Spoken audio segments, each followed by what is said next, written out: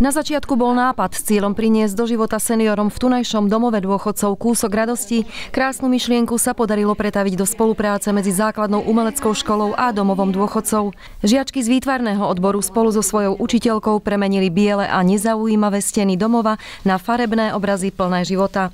Budeme sa snažiť, aby to bola taká krajšia, pestrofarebná krajina, aby to sprevňovalo túto atmosféru. Je to niečo pekné, čo ideme maľovať a je to živé a som veľmi rada, že to môže priniesť radosť seniorom. Chceli sme niečo také farebnejšie, že im to tu trošku rozžiari tie priestory, aby mali krajší deň. Tento nápad vznikol u mojej kolegynky sociálnej pracovničky magisterky Zuzky Sejutovej a my vždy sa tešíme, keď prinášame do našho zariadenia niečo nové, moderné, inovatívne, to nás veľmi teší. Ten cieľ je taký, že spríjemniť e, možno príjimateľom sociálnych služieb, možno našim, e, kto ich navštevuje, čiže rodinným príslušníkom a určite aj spríjemniť zamestnancom. Mladé výtvarničky sa do tejto iniciatívy zapojili s nadšením už po druhý krát. Zároveň to bola pre ne príležitosť rozvíjať svoje umelecké schopnosti a získať nové praktické skúsenosti. Ja som tu prišla veľmi rada a proste rada robím, čo robím a beriem to ako skúsenosť.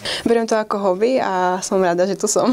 Zobrali sme to tak akčne, lebo je to veľká plocha, veľké steny a predsa len tí žiaci majú trošku zmenu v tom, že vlastne netvoria iba na menších výkresoch a na menších tých ploškách, ale tak to musia zväčšiť a majú iný dojem z toho. Kvetinové a krajinkové motívy priniesli do priestorov domova harmóniu a pokoj a tunajším seniorom veľkú radosť radosť. Nádhera je to.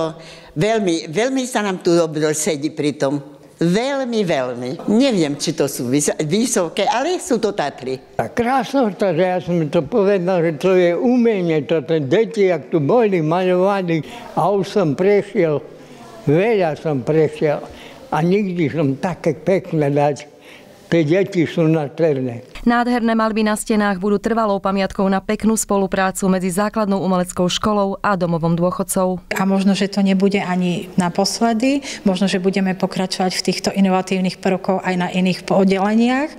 A samozrejme ešte na záver chcem poďakovať základnej umeleckej škole Spiska Noves, kde sme vlastne to už len spolu s nimi zrealizovali, za čo im patrí obrovské ďakujem.